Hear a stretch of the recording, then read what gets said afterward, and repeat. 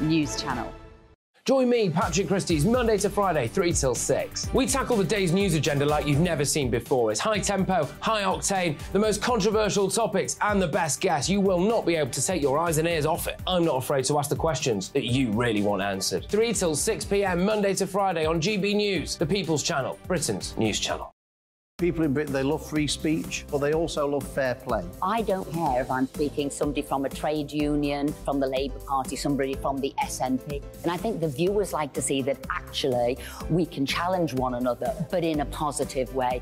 We think we ask the questions that people want to ask, and, and often we ask the questions that we wanted to ask in Parliament but never got the chance to ask. So join us every Saturday, 10 a.m. till noon on GB News, Britain's news channel.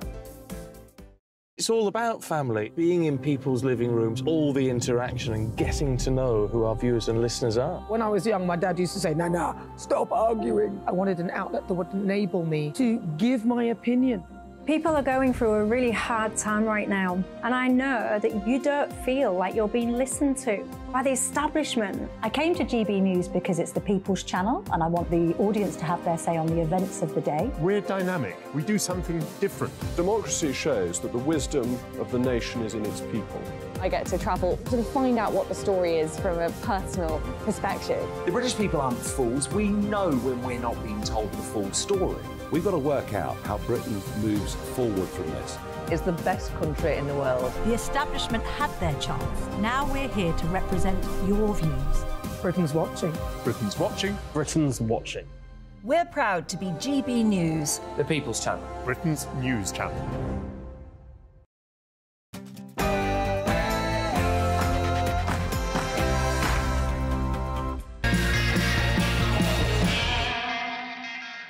Well, this week I've been uh, invited to the Uxbridge Conservative Club here in Uxbridge. Now, I believe I've got a room full of people in there. Very excited. Let's do it. Ladies and gentlemen, Mr. Lee Anderson.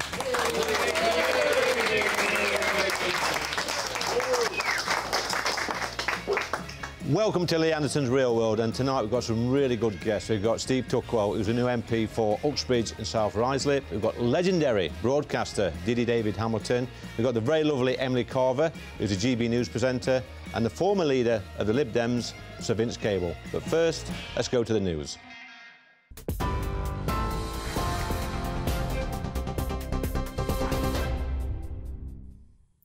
Good evening, I'm Tatiana Sanchez in the GB Newsroom. Former nurse Lucy Letby has been found guilty of the murder of seven babies. She was also convicted of the attempted murder of six others between June 2015 and June 2016 at the Countess of Chester Hospital's neonatal ward. The 33 year old will be sentenced on Monday. The government has ordered an independent inquiry into the case. Crown Prosecutor Pascal Jones described Letby's attacks as a complete betrayal of the trust placed in her. Little did those working alongside her know that there was a murderer in their midst. She did her utmost to conceal her crimes by varying the ways in which she repeatedly harmed babies in her care. She sought to deceive her colleagues and pass off the harm she caused as nothing more than a worsening of each baby's existing vulnerability. Police investigating the murder of a 10 year old in Woking say they're looking for her father. Sara Sharif's body was found at her home last Thursday after police received a call from her dad, believed to be in Pakistan, just before three o'clock in the morning. Detectives say they're now seeking Irfan Sharif, along with the child's stepmother and her uncle. It's believed they travelled to Islamabad the day before her death was discovered. Police have revealed they're investigating the loss of an officer's laptop and notebook, which fell from a moving vehicle yesterday. Meanwhile, the PSNI have arrested a man in connection with last week's data breach, in which the details of 10,000 police officers and staff were published online by mistake. A 50 year old man has been detained under the Terrorism Act and is being questioned. Another man was arrested yesterday on suspicion of collecting information likely to be useful to terrorists. GB News can reveal more than 25,000 migrants have crossed the English Channel since Rishi Sunak became Prime Minister. The figure was reached just after midday today, after the Border Force vessel Ranger arrived at Dover Harbour with 57 people on board. And despite poor weather conditions in the Channel today, a second migrant boat has made it to UK waters. It means more than 110 migrants have arrived in Kent today. Train drivers will strike on the 1st of September and overtime will be banned the day after in a long running dispute over pay. The strike will force train companies across England to cancel all services, while the ban on overtime will seriously disrupt the network. It will be the 12th one day strike by ASLEF members since the dispute started a year ago. This is GB News across the UK on TV, in your car, on digital radio, and on your smart speaker by saying Play GB News. Now it's time for Lee Anderson's Real World.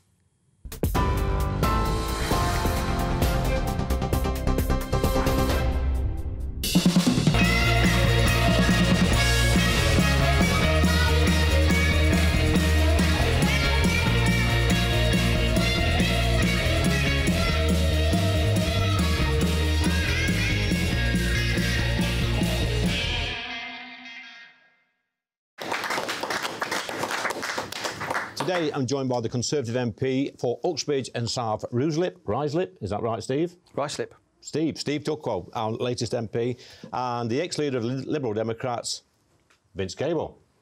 Steve, straight into it. They said you would never become the MP. They said we couldn't win. We couldn't win in Uxbridge. It was going to go to, to Labour. What happened? Well, firstly, Lee, welcome to Uxbridge and South Ruislip. It's great, great to yeah, have you great. here.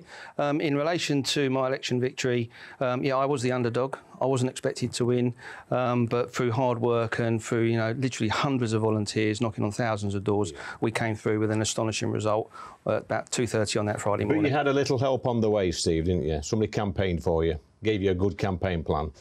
Well, we had we had a, a, number of campaign plans, but the primary the primary message on the doorsteps that you know the, the good people of Uxbridge and South Ruislip were telling me and my volunteers is their complete and utter opposition to ULEZ expansion. So that was the message coming loud and clear. It was the residents of this great constituency that made it that by-election a referendum on ULEZ. There was other areas that we campaigned on as well, which was you know retaining our local police station, which is just down the road from here. You know maintaining and building a brand new hospital, which my planning committee gave permission for and it's now got government funding. And wrap that all around is I'm a local councillor here in, in Uxbridge and South Ruislip, and I've got the, the hyper-local connections. Looking forward to working with you, Steve. I'm going to move over to Vince next. So, Vince, it's, it's, great to have Steve in the House of Commons now. Looking forward to working with him. Uh, he led a great campaign, lots of local issues. But do you think that the ULEZ campaign actually helped Steve win the seat? Well, I'm, I'm sure it did. Um, it, but it's it's less of an issue in other places. I mean, I used to represent Twickenham. I mean, I've got a vested interest because my wife has an old banger. But uh, in general, the attitude in the area is we've got very poor air quality in the town centres. There aren't too many old cars, so it's not stirred up feeling. But I was in Scotland last week, and there was real feeling about ULEZ in Glasgow because uh, most of the low-income population are, are, in perimeter schemes with poor public transport. and the air quality isn't bad. So I think you know it's one of these things that varies from place to place, and it needs to be properly designed to take the public with it.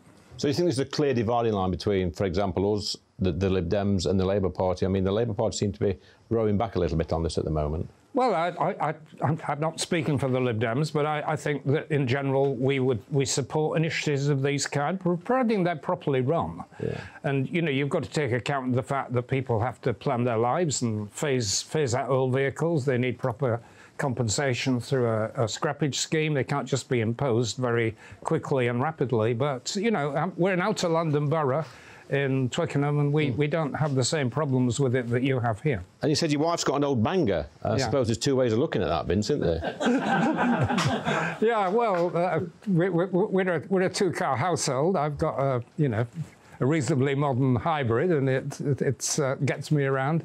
But she's going to have to change. So you're not an old banger? Uh, Steve, the £2,000 that Mayor Collins offering people, Is that cutting any ice? No, it's, it's totally inadequate, um, you know, and it's it's far too late. I mean, you know, I've been speaking to residents since the by, by-election victory, and again, £2,000 would just not go anywhere near compensating people for, for ULEZ expansion. The message is absolutely clear. It doesn't need a scrappage scheme. Where it does, the mayor needs to be scrapped, not people's cars. And I think the issue here is, is that, you know, uh, here in Uxbridge and South Ruislip and indeed other parts of outer London, we haven't got the same challenges that, that inner London have. We haven't got the transport links.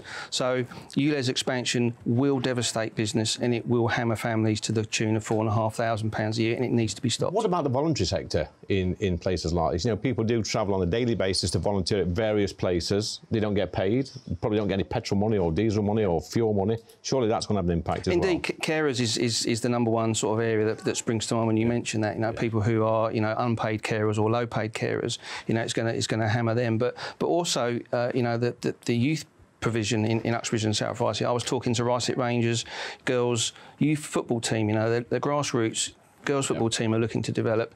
They've been uh, they've been threatened with expulsion because of ULEZ expansion, where away teams from outside London won't come in. Okay, we're going to move on to a, a different subject now. This week we've got A-level results, lots of uh, happy people going off to uni, some not so happy, Steve, Vince, but also I guess we've got two categories of young people. We've got the ones that's going to go on to apprenticeships, going to go to university, and then we see the other uh, group of young people in the news this week that think it's a good idea to take as many paracetamols as possible to see how sick they can get and, and go into hospital. Vince, what's going on in society with well, this? I don't think there are two different groups of young people. I think we just accept that, that kids of that age have been really messed around in recent years, you know, with the pandemic. I mean, I've had, you know, grandchildren who've been through this and who are, you know, very upset by it. But in terms of the A levels, the big controversy is about cracking down now on much higher standards and stopping grade inflation. And in principle, that's right, because the thing that really devalued the system was when you had teachers grading. And of course, every, every, teacher, or a lot of them anyway, wanted to give their kids A's and encourage them. But we now, we now got more objective standards that are much tougher, uh, but it's meaning that there are more kids who fail. Yeah. yeah. Steve, some children going on progressing, having, having good educational outcomes, going off to uni, doing apprenticeships, whatever. Uh, another, I think there are two groups of, of, young people in this country. There's other young people that's doing these silly things that um, you know, sometimes I, I hear people say to me, well, there's not enough youth clubs, there's not enough sports clubs, there's not enough this and that, and government needs to invest more money in local facilities. But surely, at some stage, parents have to take some responsibility. No, and I, th I think it's a big team effort, and for all the students that are, you know, be getting their A levels in the next sort of couple of days, wish them wish them every success. You know, I've got children who have been to university, been for apprenticeships, and I think you know you have to get the right balance and let people you know choose for themselves. But there has to be the right parental support there as yeah, well. Yeah. You know, so uh, for me, I think you know my favoured my favoured option forward is, is apprenticeships. I think yeah. there's a big place for, for, for more apprenticeships, earn as you learn as a, as a principal, but at the same time, people that want to go into higher education, let's make sure they're supported and these well. young people that's doing this silly stuff, Steve, how do we get to these young people and, and, and nip it in the bud? Well, I, I, think again that there are plenty of opportunities out there. I mean, I've done some work with the police. You know, I went to a, a police event a couple of weeks ago. There was over 110 police cadets part of the event yeah. that I was at at Brunel University, and I think you know that goes to show that there are opportunities there to sort of give people that you know, young, our young people that structure. Mm. Wealdstone Football Club is another example in the middle of this constituency that have over 400 people that they are coaching and training, and you know, just giving them that structure so they can take into later life. They need good parents behind them to shove them into these places. Indeed, they? they? do. Yes.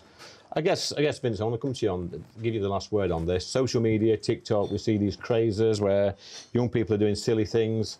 You know, that leads to a lot of antisocial behaviour. It, it leads to people copying their peers. It leads to a lot of harm uh, in some ways for young people.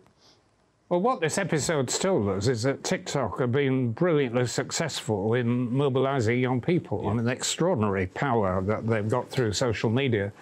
Um, and clearly, if you're getting large-scale organised sh shoplifting, you know, the authorities have got to crack down on it and, and, and yep. appropriate punishment. And that's obviously right. But shoplifting didn't start now. I mean, when I was a kid, a lot of my contemporaries were into it bit of in, in, your in your long and distant well, past? I plead not guilty. Not but, guilty. But it wasn't unusual. Let's, let's put it that way. Yeah, but the, the, the TikTok, the, the Facebook, the Instagram, it's all it's all instant now, so people can look. It's it's quite fashionable. Even horrible things like harm, you know, young people harming themselves. It's it, it's out there, Steve, isn't it? It is, and I think you know we need to be looking at ways in which we can give people that structure, and, and us as well as there's older people in, in society role modelling the right behaviours. I think is important as well. Yeah, because I think I seen an article this week where so many thousands of, of young people in this country have been stalked online by, you know, by uh, well perverts basically. They've been grooming them online, and it's, it's it's quite disgusting. It's quite sad. And I hope that the the online harms bill. You know, when that when that comes in, I know, it's, I know it's been a long time in the making, but that'll go a long way to to protecting young people. You know, our young people, which they, they do need protecting. But listen, don't go away. We've got the yes no quiz coming up in a minute with Vince and Steve. It's time for quiz of the week. It's a yes or no quiz. You know the rules, gentlemen. That's five questions. You can only answer yes or no. Steve, we'll start with you first. It's the same number one question each week. Can a woman have a penis? No. Vince? No. Vince, to you. Should the ULEZ expansion scheme in London be scrapped? No. Steve? Uh, yes. Number three, Steve. Is Rishi right to expand the, the licence agreements for the North Sea oil exploration? Yes. Yes. Vince? No. Shock. Number four, um, Vince. Should we have more grammar schools in the UK? Yes or no? No. No. Steve? Yes. Yes. And the fifth and final question, Steve. Should we have a House of Lords? Yes. No. Interesting. Five no's, Doctor No. Well, five no's, and you know, we, you, you both got five ticks, so it means you're not dodging the, the answers. You know, you, you're prepared to be, um, to, you know, to put, put your answers there, put your name to something, which is great. I noticed that you didn't agree, Vince, with the exploration of, of North Sea oil and gas. Do you want to just expand on that? Well, it's, it's quite finely balanced. I mean, I used to work for Shell. I mean, I was proud Oh. to do so. I was Oh, right, okay. chief economist. So you made lots of money out of fossil fuels, have you? Make- well, I earned Oh, a decent right. salary out of it. Oh, had a good okay. job. And a good pension. Um, I haven't got a Shell pension. I've got a House of Commons pension, like Okay, you. okay. But um, no, I, I, I think it's finely balanced, and, Okay. and the government got advice from its what it's called its climate change Okay. committee. And they said we shouldn't do it, we don't need Okay. it, and I think you have to listen to their advice. But it is quite finely balanced. I understand the point about energy security. Yeah, go. And, and Steve? Well, I think if we're going to get a grip of our energy, energy security, then we need to be taking these kind of decisions. So, yeah, Okay. it's a yes for me. Straightforward answers. Do not go away. We join next with Steve Tuckwell, MP for Uxbridge and South Ruislip, who's going to join me getting questions and getting grilled from our brilliant audience.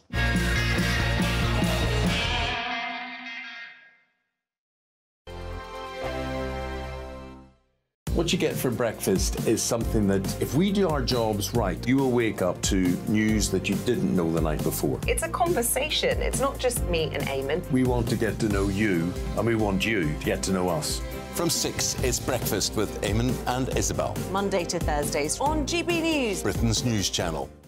Westminster is going around in ever decreasing circles, followed by the media. Britain is broken. How on earth did we get into this mess? But more importantly, how do we get out of it? Join me at 7 pm, Mondays to Thursdays on Farage, here on GB News. We will have open, rational debate. We've got to work out how Britain moves forward from this. Join us here on GB News, the People's Channel. Britain is watching. When the news happens, it happens here. And really important breaking news. Breaking news this morning. On TV, radio, and online, the news starts here on Britain's Newsroom. All the biggest stories and the answers that you need from across the UK and beyond. Join Britain's Newsroom from 9.30 on GB News. The People's Channel, Britain's news channel. Join me, Patrick Christys Monday to Friday, 3 till 6. We tackle the day's news agenda like you've never seen before. It's high tempo, high octane, the most controversial topics, and the best guests. You will not be able to take your eyes and ears off it. I'm not afraid to ask the questions that you really want answered. 3 till 6 pm, Monday to Friday on GB News, the People's Channel, Britain's news channel. People in Britain, they love free speech, but they also love fair play. I don't care if I'm speaking somebody from a trade union, from the Labour Party, somebody from the SNP. And I think the viewers like to see that actually we can challenge one another, but in a positive way. We think we ask the questions that people want to ask, and, and often we ask the questions that we wanted to ask in Parliament but never got the chance to ask. So join us every Saturday, 10 a.m. till noon on GB News, Britain's news channel. It's all about family, being in people's living rooms, all the interaction and getting to know who our viewers and listeners are. When I was young, my dad used to say, no, stop arguing. I wanted an outlet that would enable me to give my opinion. People are going through a really hard time right now, and I know that you don't feel like you're being listened to by the establishment. I came to GB News because it's the people's channel, and I want the audience to have their say on the events of the day. We're dynamic. We do something different. Democracy shows that the wisdom of the nation is in its people. I get to travel to find out what the story is from a personal perspective. The British people aren't fools. We know when we're not being told the full story. We've got to work out how Britain moves forward from this. It's the best country in the world. The establishment had their chance. Now we're here to represent your views. Britain's watching. Britain's watching. Britain's watching. We're proud to be GB News, the People's Channel, Britain's news channel. So this show is about real people and letting real people ask politicians real questions. And Steve, we've got a room full of real people today, and we're going to start with Rosemary, who's got the first question. Rosemary. I read that under the Greater London Authority Act 1999, there is a loophole whereby the government, i.e., Transport Minister, can overrule Sadiq Khan. Why isn't he? Steve, reasonable question. Well, I, I heard about this uh, last night, actually. I heard about it on GB News and I thought it was an interesting development. But I think that the bottom line is, is that Sadiq Khan is responsible for transport in London. You know, he's been bailed out a number of times by local government, and I think he needs to be held accountable for the expansion of ULEZ. So do you think, I mean, I'm of the mind, to be honest, um, Rosemary, that um, the people that really make this decision are the, the people of London. Would you agree, Steve? I do, and I think you know the, the, the message from the the by-election uh, a few weeks ago now was loud and clear, and I think you know that message needs to be taken into the mayoral election next year. So I guess I mean I guess my feelings on this really are that um, yes, I'd love to see ULEZ the expansion scrapped, but I'm a Democrat as well, and Mayor Khan was democratically elected by the people of London, and the people of London, if they don't like it, they should get rid of him next year. It's as simple as that, Steve, for me. Uh, next question is from a gentleman called Navtam. Uh, Lee, the asylum seekers are not willing to board these Bibby barge. Um, provided uh, all standards are met, do you think they should accept this accommodation gracefully? Steve, it's a great question. I think um, I was asked this last week, actually, um, a similar sort of question to this. The Bibby barge, I've looked at it and I've seen the pictures online. Looks reasonable to me. You know, do you think they should get a second chance? Well, I, think if it's if it's good enough for hard-working professional oil rig workers, then I think it's good enough for, for immigrants to be to be housed on. You see, back in February, I visited Calais. I went to um, I went to see the the migrants in the camps in Calais, and they were living in in squalor, if I'm honest with you. They were living in one-man tents. They were living in little bivouacs. They were on pallets. They, they were filthy. There was no sanitation. You know, it was it was freezing cold. The, the, the conditions are absolutely appalling. Yet we see some of these illegal migrants, and I don't always blame the illegal migrants. I think sometimes it's the lefty lawyers, it's the human rights campaigners, it's the charities that are telling these migrants that this accommodation isn't up to scratch. And I see them moaning about things like Wi-Fi. There was the Care for Calais was complaining last week about they only had one bus every hour. You know, there's some people in my constituency would love a bus every hour to the next village or and go and see the GP. So I don't know, Steve. What do you think? Do you think they're being coached? No, again, I think you know Labour have put blockers in front of the government in every step of the way in dealing with illegal immigration. And I think I'll come back to my main point. You know, if the if this barge is good enough for really professional, you know, high quality oil rig workers, then it must be good enough for, for migrants to be accommodated on. Yeah. Navtam, some of these these lefty lawyers, these do-gooders, these these human rights campaigners, these these charity bosses.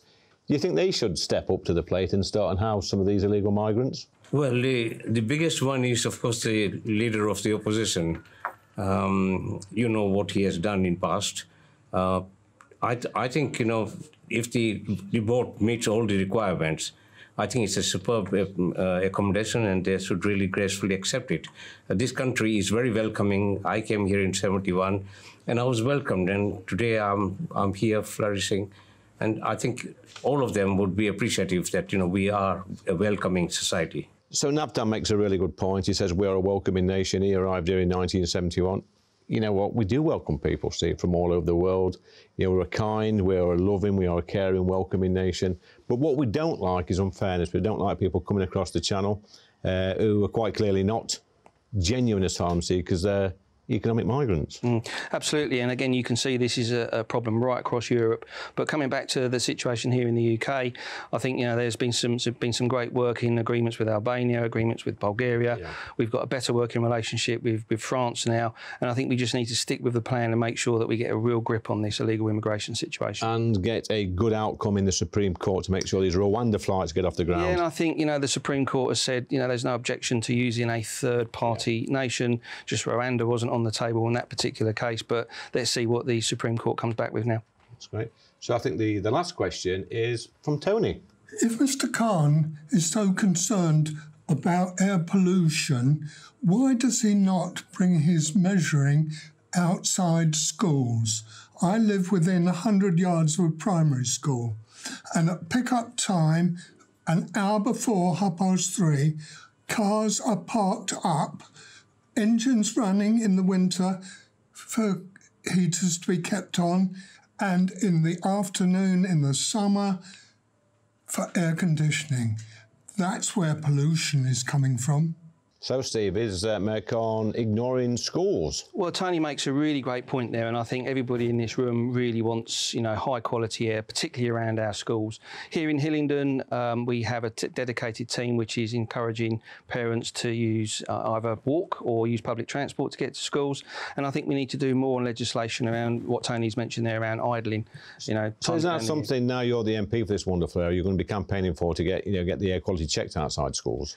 Yeah, and I, I think we, we have air quality monitoring stations right across Hillingdon, and Hillingdon has, has been seen to be having good air quality. So we need to just be making sure that, you know, not just in schools, but around health, health facilities as well, we just make sure that the right systems are in place to discourage uh, air pollution. And that, you know, idling that's been mentioned there is something that we need to be doing more that, to enforce. Okay, it sounds like this uh, great area is, is, in, is in good hands. Um, I look forward to working with you, Steve, when Thank you get back to Parliament. But look, coming up, we've got Vince Cable and Emily Carver. You don't want to miss this one.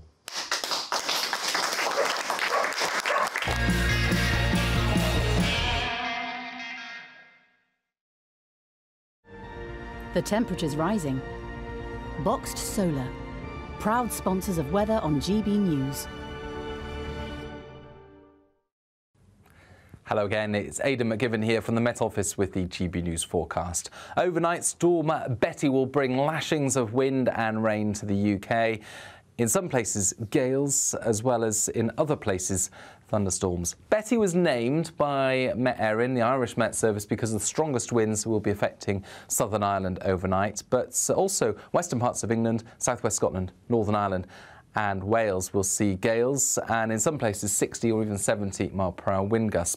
The worst of the winds move through overnight, but there's also the risk of thunderstorms developing across the east of England and persistent rain for Scotland and Northern Ireland. So all in all, a lively night of weather and a warm night as well, staying fairly muggy. We start off Saturday with the wet and windy weather moving through Irish Sea coasts, Northern Ireland, as well as Scotland. The most persistent rain arrives into the north of Scotland, but we'll continue to see further spells of wet weather for the rest of Scotland, Northern Ireland, and northwest England. Across the rest of England and Wales, it brightens up. There'll be some showers, but also some decent sunshine. And in the southeast, 26 Celsius. It's going to stay relatively humid. Sunday, all in all, is a brighter day, particularly for northern areas. Again, a mix of sunny spells and showers. Still a brisk breeze from the southwest, but that's going to be bringing once more some higher temperatures at times. So mid 20s possible in the southeast, turning even warmer in the south through next week, staying changeable in the north. The temperature's rising. BOXT solar proud sponsors of weather on GB News.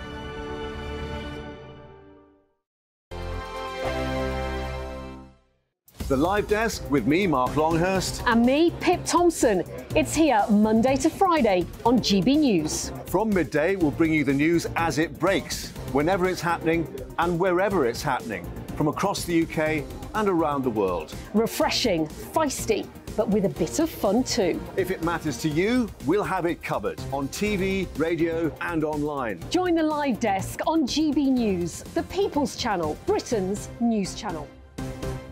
So Dewbs and Co, we tackle the issues of the day with real robust debate, both sides of the fence, battling it out with me in the middle with my forthright opinions and views. And often really interesting things happen because you start with a position and then by the end of the debate you find actually, well, I might not have thought about that one. What we need in this country is two new political parties. You should maybe think about doing a 2024 calendar.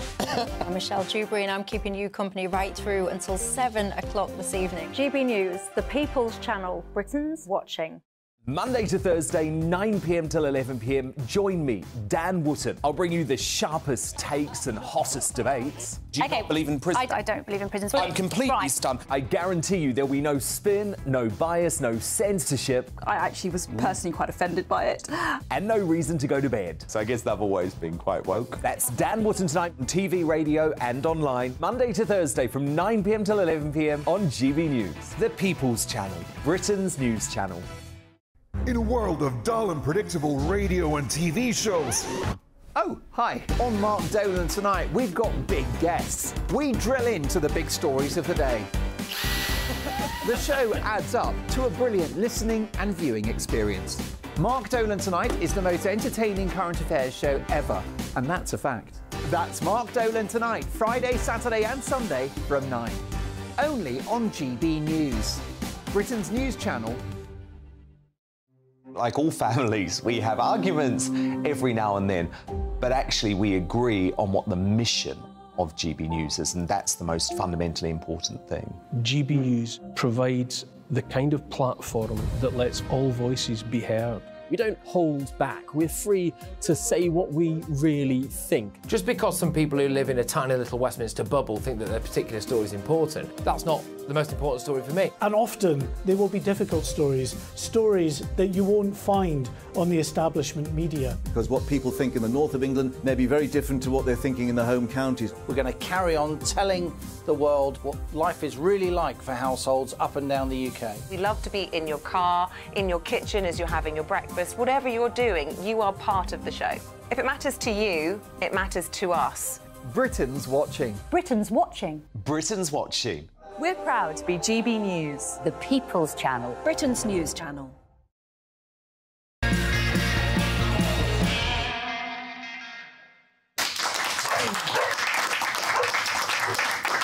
So joining Vince and I now, we've got the brilliant GB News presenter Emily Carver. Emily, thanks for Thank you for coming. We're going to get me. straight into it today, um, because we've only got a few minutes.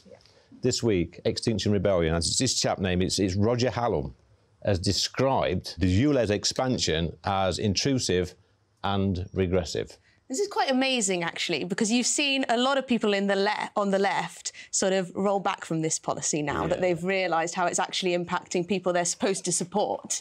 I mean, the Labour Party, presumably, is there caring about those on the lowest wages, caring about people who can't afford um, necessities, and then you've got uh, that's Sadiq Khan in London, essentially putting this fee on people with cars that need to get around. So, it's quite interesting, though, isn't it, that a man from Extinction Yeah. Rebellion, a co-founder of Extinction Yeah. Rebellion, would come out against an anti-car policy on the grounds of progressivism. Do you think we're going to see XR now on the streets protesting, spraying buildings, digging people's lawns up, campaigning against the ULEZ expansion?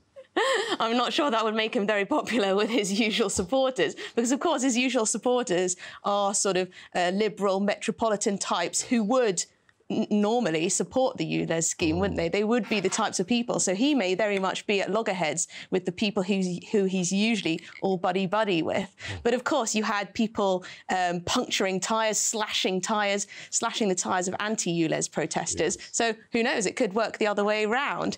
Um, but he goes on to say that he doesn't support this policy. But what he does support, or what he would support, is more taxes on the rich. OK, that's normal. Everyone from Extinction Rebellion would like that. But also that he'd support carbon rationing on the richest 1% or whoever, presumably most of the country he'd support that for. So think about that. What would that mean? So much control. So I don't know, Lee, you're only allowed one bus trip this week. You're only allowed one flight this year. You're only allowed one holiday. Uh, you can't have that car.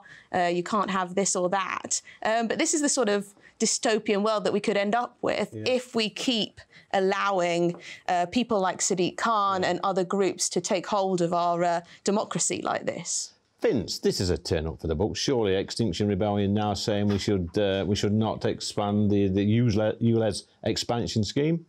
Yeah, I, I think they shouldn't be backing off. Actually, this is if you're an environmentalist, this is a very good initiative, and I, as I said earlier on, I mean, providing it's properly designed, it's a good thing. I mean, it was it was very popular in inner London. Well, you've got a lot of very rich people, but very poor people, but they've got. Well, when you say popular, Vince, popular with who? Well, it was popular with the public, um, but really? the, the, the, problem has been in the suburbs, right, where we are now, where you get the public the public transport isn't as good and the air quality is better, so it's less urgent. But you know, certainly the sense I have in the part of London I live, another part of outer London, Twickenham, is that people see the benefits of it. They're not very hostile. But hang on, there's been public consultation after public consultation where people have said they do not support the expansion of ULEZ and it just gets ignored. I don't know why they even bother doing these consultations because they clearly mean nothing and these policies are rubber stamped anyway and it's going to be expanded on the 29th of August, come what may. Meanwhile, people are absolutely terrified of the cost of this. Isn't it about time, though, Emily, we had a consultation on the air quality on the undergrounds in London? Well, that's a good point. That's a good point, but I don't know what you could do about that. I'm not a physicist or an engineer, well, but it is where there is a huge amount of pollution. That is what people say, isn't it, Vince? Vince, yeah. the underground. Well, you've got to, you know, you've got to modernise the metro. You know, we've got the Elizabeth line, the great, great advance. It's, and it's certainly much higher quality than, than the old lines that were almost a century old. But, you know, the underground system of London is one of the best systems in the world, and we should be proud of it and but expand it. But that's not really the point. People should be able to make choices in their lives, and this is what annoys me. It's we know best at the London Assembly. I know best as London Mayor what is best for you, your family, your business. He even had the cheek, Sadiq Khan, to say that this is for the benefit of tradesmen. So this is for the benefit of your local plumber. This is for the benefit of your local builder because they'll have to take off fewer days for asthma. When was the last time your plumber complained about asthma? But when was the last time they complained about the cost of getting around London? I mean, it is ludicrous. Well, the problem is that traffic is partly a matter of personal choice, and I want people to have choice. I own a car and I love it. Um, but, but at the same time, you have to take account the fact that everybody pitches on the road at the same time in the same place, you've got congestion. You know, there are social impacts not just congestion, but bad air quality. And yeah. somebody has to make a decision about the wider public interest. And I, I, do believe this scheme has got to be better designed. You've got to try and give people proper warning. You've got to try and help them with the scrappage, the costs of, of winding up an old car. We can't but the principle to is a good for one. everyone to get a new car. I mean, that's ridiculous too. People say, oh, if only the scrappage scheme was more generous. Okay. Well, hang on then. But uh, yeah, that's fine. But, you know, the taxpayer then has to cough up calm you both down for the moment. We want to have a simple yes or no question. Vince, you're used to this. If there was a referendum on the ULEZ expansion, would the people of this great area vote for it, yes or no, Emma? Um, would they vote for it, in yeah. favour of it? No, I very much doubt it. Vince? In my area, yes. Yes, definitely? I think so. Well, there you go, a slight disagreement there. But next, we've got Wokie of the Week, and we're going to be joined by Vince Cable and Emily Carver. Time for Wokie of the Week. This is a part of the show where we pick three woke organisations or people and we pick a winner to see who's been the Wokie of the Week. So the first one is emergency operators. When you ring 999 and asking people um, which pronoun do you require. Now, just imagine, guys, you're gasping your last breath. You're on your own. You've crawled three miles to a telephone somewhere in the middle of a country lane, and you know you're on your last knockings, and somebody's asking you which which pronoun are you? It's you, very silly. Is, is, it true? Well, according it is to, true. According to my fact sheet, it's true. Uh, the second Wokie of the week is entitled Scouts Honour. Uh, the Scouts have released a style guide which calls for postmen to be called postal workers and firemen to be called firefighters. Now, again, you ring 999, your house is on fire, your cat's stuck up in, in loft, you know, it's burning down, you're ringing up, and does it really matter if they're firemen or firefighters or firewomen or, or fire what? I think it's just a load of nonsense, to be honest. But you know, bear that in mind. So, uh, Wokey of the week number three is James O'Brien. He's a um, LBC um, radio presenter. He's a regular in, in this section of the show. He's always on there. He spends most of his time having a go at me and my good friend Brendan Clarke-Smith and Jonathan Gullis and a few other sensible politicians. So he's he's always on there.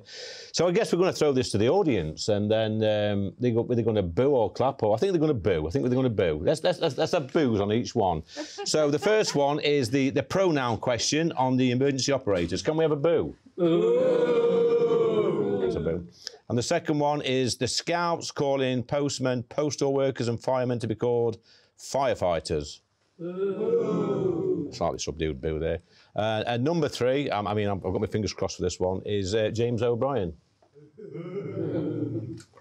Well, there you go. I think this week's winner, obviously, is the emergency operators. They are the Wokey of the week. I think that's a good choice, actually. What do you think, guys?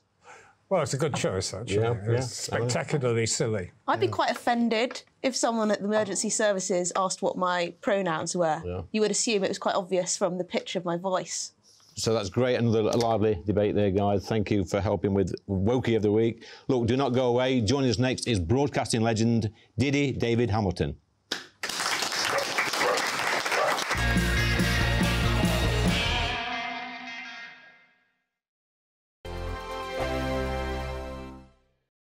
Monday to Thursday nights on GB News. At 6, it's Dewbs & Co. 7 o'clock, Farage. At 8, join Jacob Rees-Mogg. And at 9, Dan Wootton Tonight, followed by Headliners. On TV, radio and online. This is GB News. Now then, Lee Anderson here. Join me on GB News on my show, The Real World, every Friday at 7 pm. I'm not eating bloody cat. Are you mental? Put your mouth. Okay. Here comes a, here comes a train. Reminds me of the scene in Singing in the Rain. Adam, is that a good one? Join me at 7 on GB News, Britain's news channel. Join me, Camilla Tominey, on Sunday mornings from 9.30, taking the politicians to task and breaking out of SW1 to see how their decisions are affecting you across the UK. Bursting the Westminster bubble every Sunday morning, only on GB News, the People's Channel. Britain's watching. Join us every night on GB News at 11pm for Headliners, which is three top comedians going through the next day's news stories, which is exactly what you need because when the establishment has gone crazy, you need some craziness to make sense of it. So join us 11pm every night on GB News, the People's Channel, Britain's news channel. I'm Andrew Doyle. Join me at 7 o'clock every Sunday night for Free Speech Nation, the show where I tackle the week's biggest stories in politics and current affairs with the help of my two comedian panelists and a variety of special guests. Free Speech Nation, Sunday nights from 7 on GB News, the People's Channel, Britain's news channel. Every Sunday from 11, join Michael Portillo. There'll be topical discussion, looking at the week before and the week to come. So kick back and relax at 11 a.m. on Sundays on GB News with me, Michael Portillo. GB News, the People's Channel, Britain's news channel. I joined GB News because I was sick and tired of not hearing my views being represented, not just mine, but so many people that I knew and spoke to. I just couldn't get my voice out there. I couldn't say anything. I couldn't do anything. Whatever the narrative was, I kind of had to follow it. GB News is there to provide a voice for those who have been ignored by the establishment media. We think different things, we've got a different style. GB News is here to be optimistic and positive about the future. It's real kind of dynamic and flowing with the audience very much at the heart of it, like a big family. Here at GB News, we talk about the things that matter to you. Hearing the voices from right across our towns and cities, especially our towns. All sides of the argument represented with a heavy dose of opinion. We're on a mission here to make a difference. And the GB News family really is here for you, and whatever time of day you can watch or listen. Britain's watching. Britain's watching. We're proud to be GB News. The People's Channel. Britain's news channel.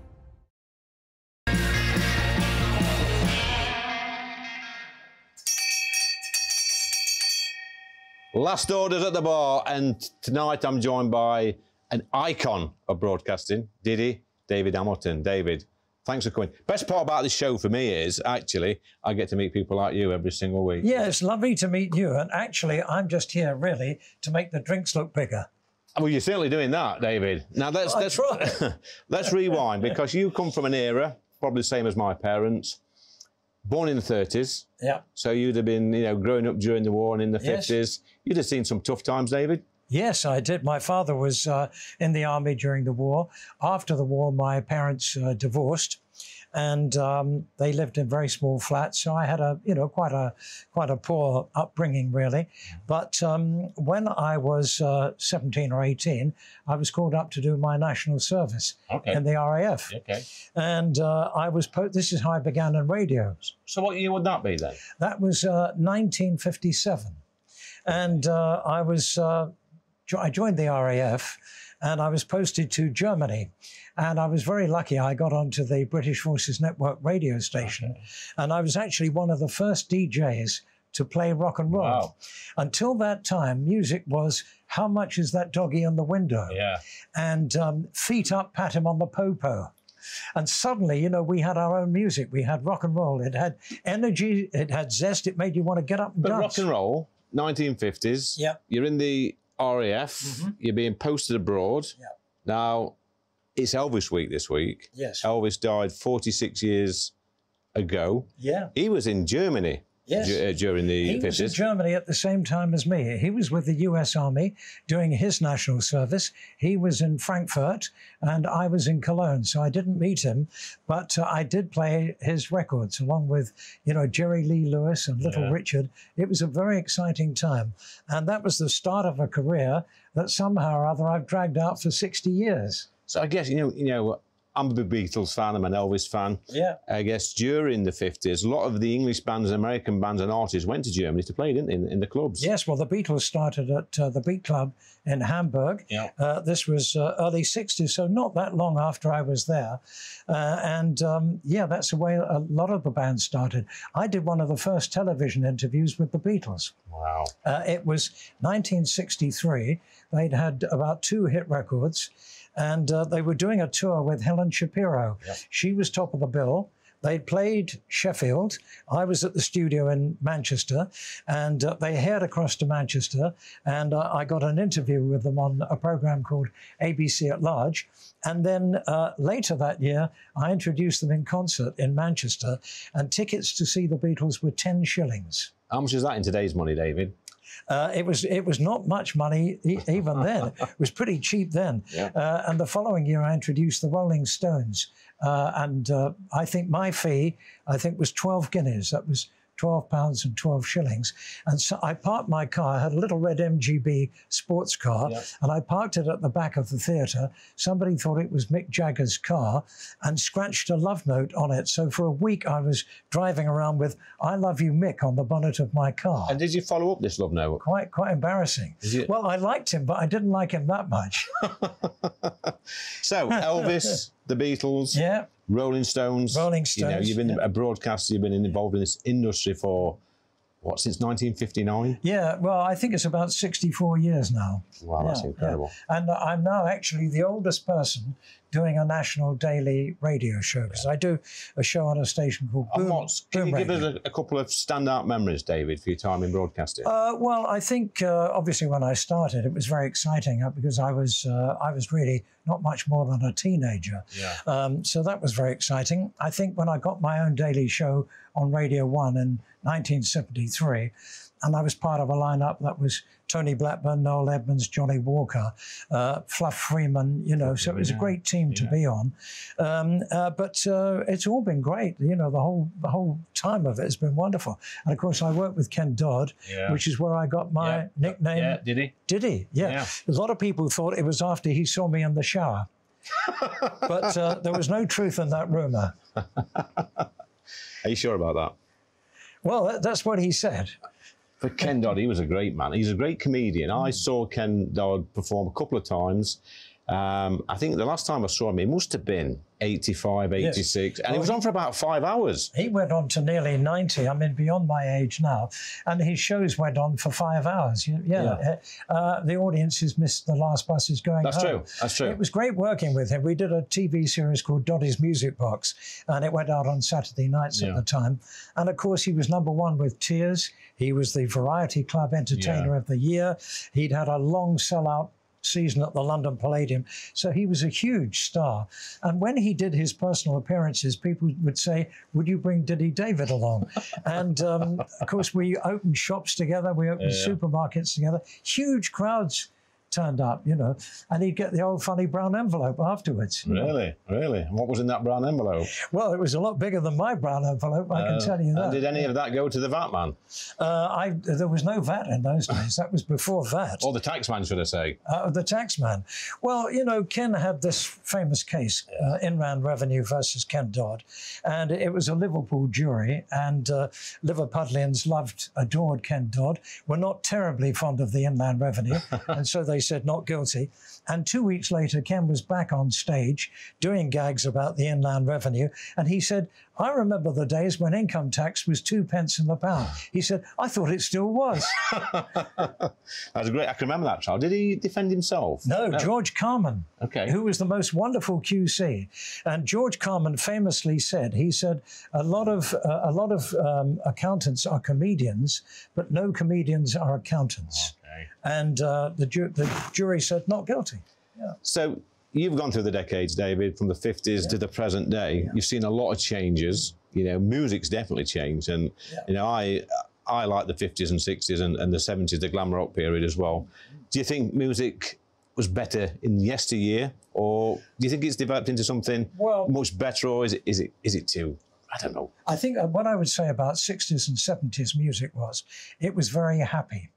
You know, the, the 70s, as you remember, do you remember the 70s? I do remember the 70s, yeah. Um, uh, the 70s was, a, it was a tough decade. You know, we had mass unemployment, Yeah. we had rampant inflation, Yeah. lots of uh, strikes, a bit like now, really. Yeah. Um, and the music was so happy and bright that it cheered everybody up. And that was the thing about the music at that I time. think the music in the 70s, which I particularly like, were, were bands like Mud, Yes. Bay City Rollers, Yeah. T Rex, uh, Racey, The Rubettes, Alvin Yes. Stardust, Suzi Yeah. Quatro. Yeah. Did you come across these artists? So well, I worked with them all. I, Yeah. I compared the Bay City Rollers tour and I compared David Cassidy's tour. When he what was that like? Thousands of screaming girls. What was that like? Thousands of screaming girls. Uh, I remember them, you know, banging on the door of my dressing room. Eventually, I had to let them out. It was, it was, it was really awful, you know.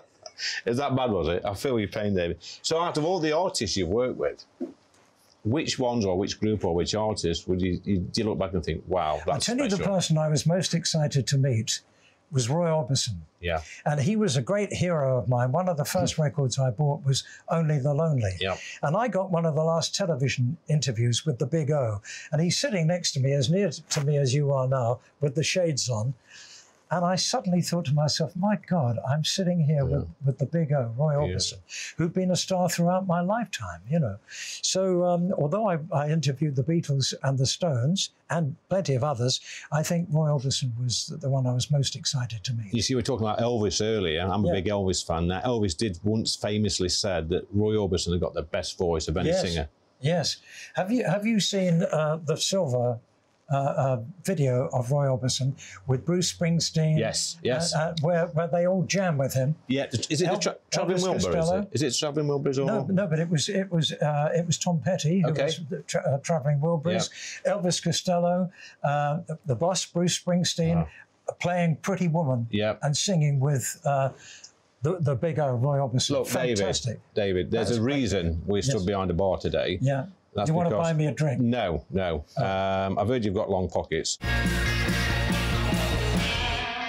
You're going to pull a pint. Every week we get um, our celebrity guest to pull a pint. Really? And we're going to call in Esme. Where's Esme, the landlady? Come on in, Esme. You go over there, David. yeah. Um, um, Um, so th- this one- basically, this one here? Yeah, it's the cold. It's is it the Any cold tips, Esme? Uh, yes, put the glass up. That would be handy. Yeah, come Pick on, the David, glass up, and pull okay. the pump back. And then I just pull. Just pull, I yeah. Just pull. It's a long time since I pulled, so. Oh, Oh, yeah, look at that. it's- no, I think I think this is going to have a That's it. rather. If you just hold it down, it would be Do I fine. keep pulling? Do I keep pulling? Just leave it. Oh no, Look just let that. it go. Yeah, let it go. I see. You've never done this before. This is actually a virgin of performance. It's like, oh, I think, I think So, you so might. David, if you come and put Yeah, that there, I think you might say Esme, that's if you got a come here, rather darling. large head.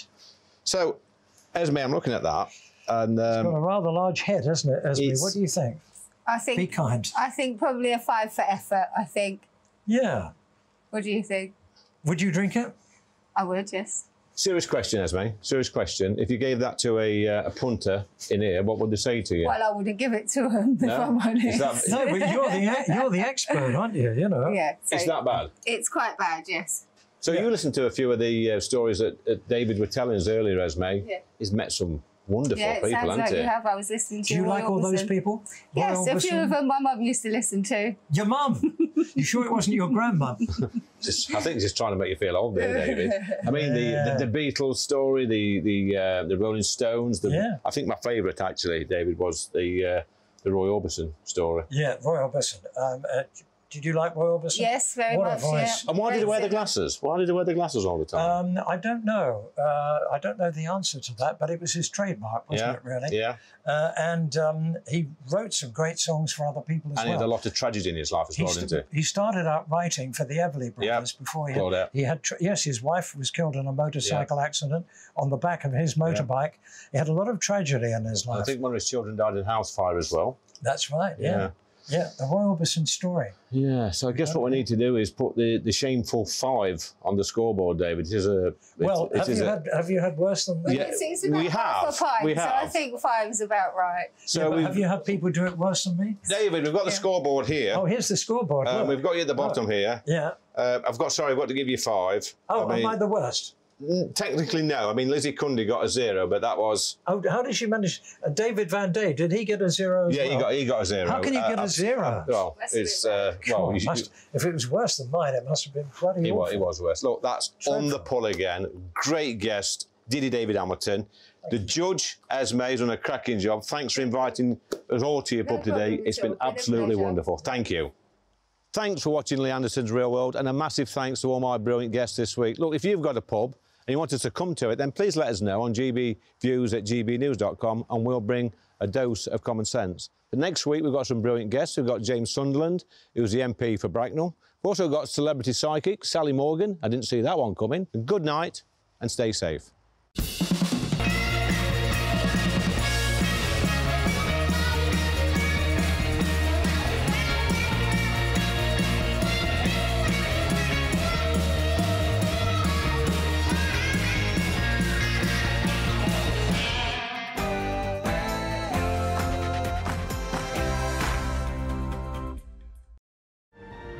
Brighter outlook with BOXT Solar. Proud sponsors of weather on GB News. Hello again, it's Aidan McGivern here from the Met Office with the GB News forecast. Overnight storm Betty will bring lashings of wind and rain to the UK. In some places, gales, as well as in other places, thunderstorms. Betty was named by Met Éireann, the Irish Met Service, because the strongest winds will be affecting Southern Ireland overnight, but also western parts of England, southwest Scotland, Northern Ireland and Wales will see gales and in some places 60 or even 70 mile per hour wind gusts. The worst of the winds move through overnight, but there's also the risk of thunderstorms developing across the east of England and persistent rain for Scotland and Northern Ireland. So all in all, a lively night of weather and a warm night as well, staying fairly muggy. We start off Saturday with the wet and windy weather moving through Irish Sea coasts, Northern Ireland, as well as Scotland. The most persistent rain arrives into the north of Scotland,